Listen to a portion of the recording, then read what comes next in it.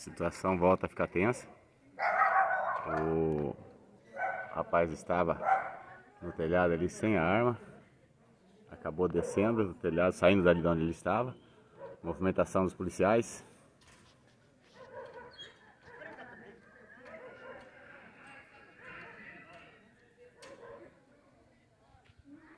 Bem complicada a situação.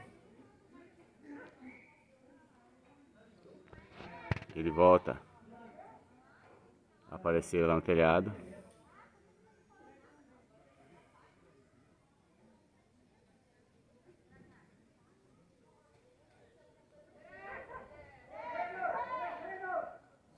A população pede para que ele desça. Aparentemente ele está novamente desarmado.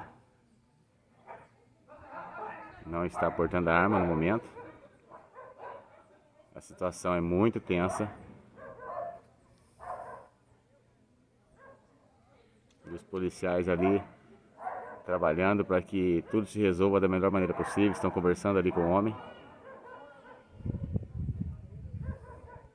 Não temos ainda a identificação dele, nem o que levou ele a cometer esse ato.